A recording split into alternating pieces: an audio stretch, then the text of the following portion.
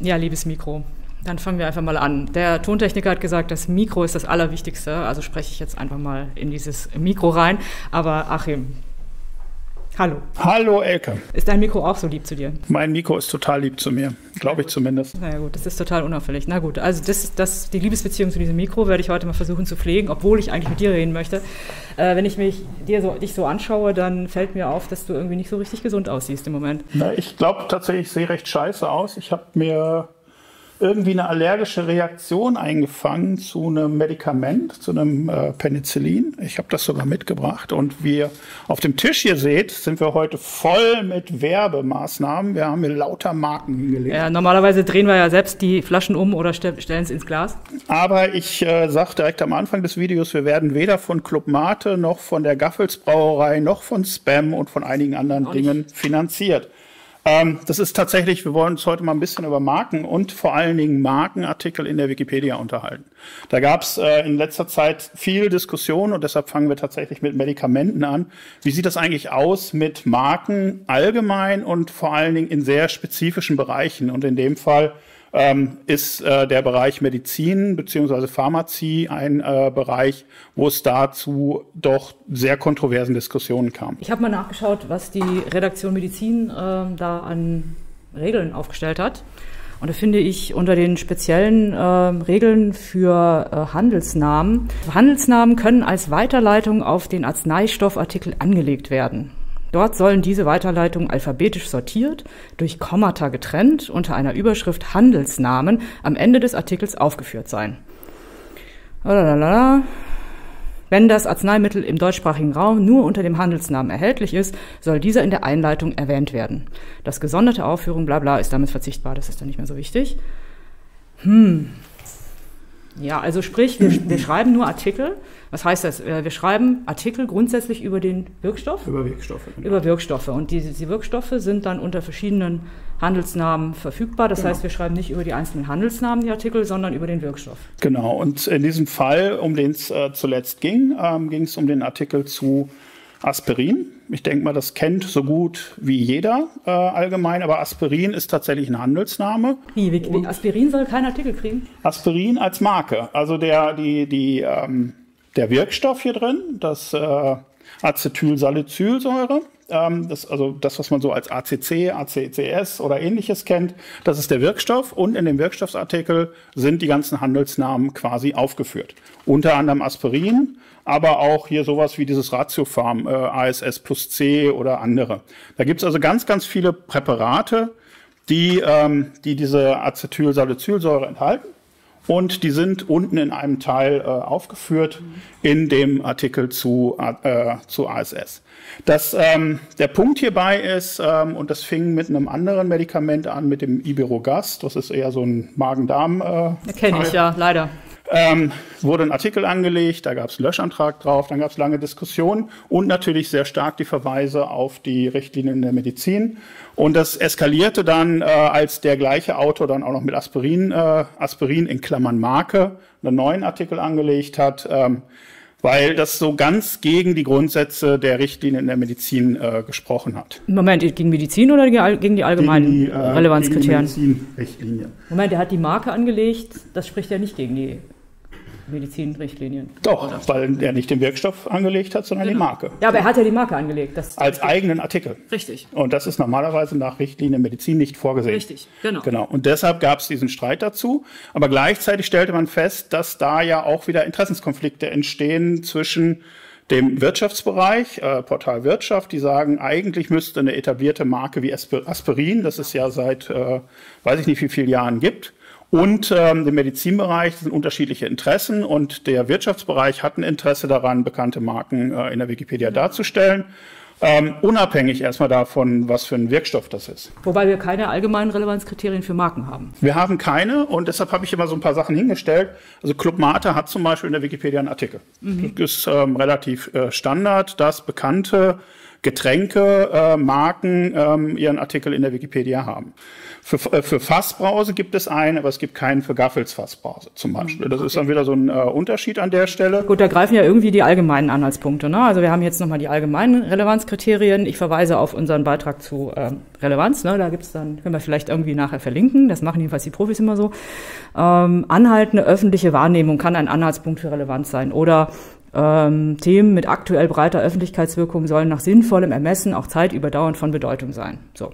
Also ist Clubmate zeitüberdauernd von Bedeutung, ist Aspirin zeitüberdauernd von Bedeutung. Ich glaube, Aspirin ist zeitüberdauernder von Bedeutung als zum Beispiel Clubmate. Ja, aber beide sind halt äh, omnipräsent. Also das ja. bedeutet, sie sind im Prinzip ja, omnipräsent vorhanden. in unserer Szene. Ne? Wie auch immer. Also man kriegt sie im Supermarkt, sie stehen im Regal. Aber ich habe ich hab tatsächlich so ein Experiment vor Jahren mal gemacht mit Rittersport. Ich habe, äh, es gibt natürlich gibt's einen Artikel zu Rittersport. Ja, genau. Und da habe ich gesagt, okay, Rittersport ist, ist eine Marke und ich habe einen Artikel angelegt zu Rittersport Vollnuss, glaube ich. Und, und zu Rittersport noch. War das Nougat?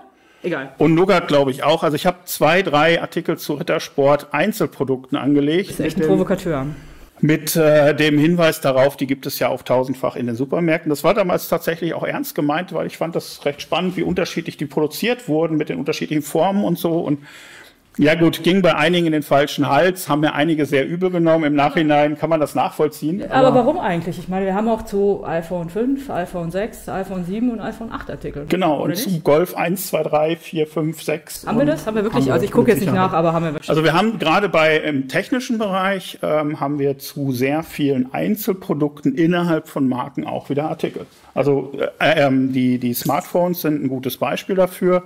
Computer sind natürlich ein gutes Beispiel dafür, ähm, teilweise auch Drucker oder ähnliches und Autos. Es gibt zu jeder Sonderform irgendeines Modells gibt es einen eigenen Artikel.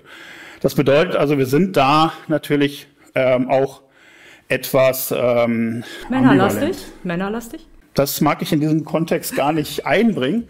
Ich hatte gerade auch ähm, im, im Kopf noch Beispiele, zum Beispiel ähm, sowas wie Rider, äh, Rider Twix äh, in dem Fall. Ich glaube, wir haben zu beidem einen Artikel, obwohl es dasselbe ist.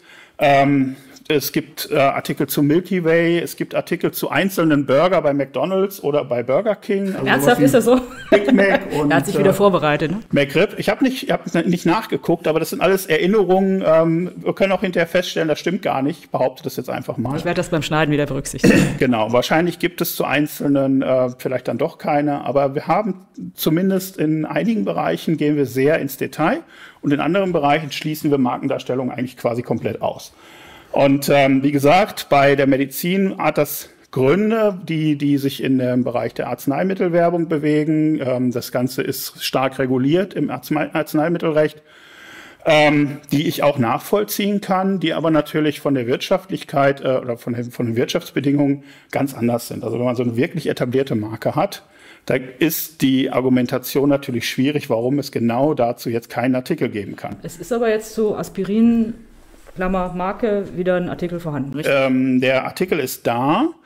Der wurde phasenweise, er hatte einen Löschantrag, er wurde in der Löschdiskussion diskutiert. Es ist möglich, dass er sogar gelöscht wurde und über eine Löschprüfung wiederhergestellt wurde, aber im Endeffekt hat ein Admin entschieden, dass dieser Artikel als Markenartikel relevant ist. Jetzt ist natürlich das Problem, wenn ich über Aspirin äh, irgendwas finde, zum Beispiel an Nebenwirkungen, an irgendwelchen Skandal, an was auch immer, die sich auf den Wirkstoff beziehen, dann hat das natürlich erstmal den Markenartikel und den Wirkstoffartikel als Parallelartikel einzuarbeiten, ist dann immer ein bisschen schwierig, weil die Nebenwirkungen von ASS betreffen natürlich alle Präparate, die mit ASS sind und nicht nur Aspirin. Und ähm, das ist, äh, war in dem Fall von Iberogast so. Da wurden bestimmte negative Effekte in den Artikel zu Iberogast ge äh, gepackt, die sich aber auf einen Inhaltsstoff bezogen. Ja. Das ist, da ist das Schöllkraut drin, das ist eigentlich ein äh, pflanzliches Mittel. Mhm. Schöllkraut, Schöllkraut ist äh, hochgiftig und hat entsprechend auch Nebenwirkungen.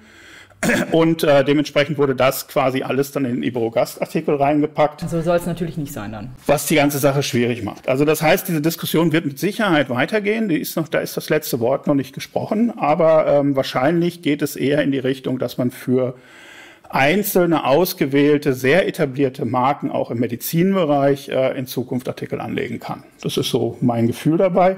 Ansonsten, wie gesagt, die anderen Bereiche, da, da wird's auch, wird sich nicht viel dran ändern. Ich weiß nicht, Frauenmarken, ähm, du hast das gerade angesprochen. Boah, jetzt hast du mir aber eine tolle ne? Vorlage gegeben. Ne? Also ich habe Was tatsächlich, ich habe mal eben geguckt, ich habe tatsächlich, wo wir gerade in den Gender-Klischees sind, ähm, ich habe tatsächlich äh, mal einen Artikel zu einem Produkt, einem, einem wirtschaftlichen Produkt geschrieben und das war eine Küchenmaschine. Ihr lacht jetzt nicht.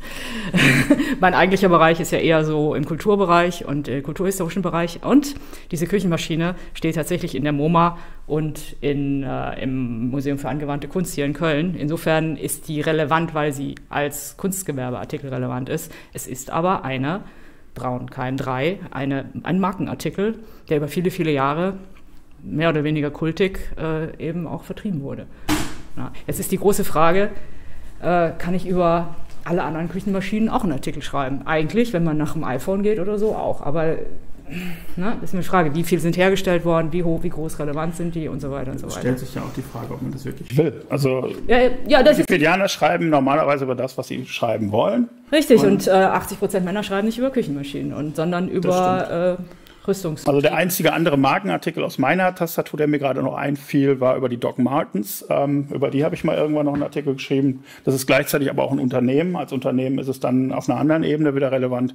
Also ich denke mal, Medizin ist ein Bereich, wo noch diskutiert wird. In anderen Bereichen wird das Thema Markendarstellung mehr oder weniger. Ist ja ähm, vielleicht auch nicht ganz. Also ich kann das auch als Nichtmedizinerin halt äh, schon ein bisschen nachvollziehen, weil in dem medizinischen Bereich muss man natürlich auch ein bisschen aufpassen. Wir schreiben zwar immer schön drüber und drunter unter die Artikel, hallo, bitte nicht auf Wikipedia verlassen, wenn ihr euch über Krankheiten, Gesundheit, Medizin unter, informiert, aber man hat dann natürlich schon eine gewisse Verantwortung, dass man halt, ich, ich glaube nicht, dass es nicht schlimm ist, dass es im medizinischen Bereich ein paar strengere Regeln gibt. Wobei ich mich schon freue, dass es einen Artikel über die Marke gibt. Da sind wir nämlich genau an der Stelle. Auch wir sind uns nicht ganz sicher, wie das in Zukunft gehandelt wird. Und ich denke mal. Und wenn ihr da eine Meinung zu habt, dann schreibt sie in die Kommentare.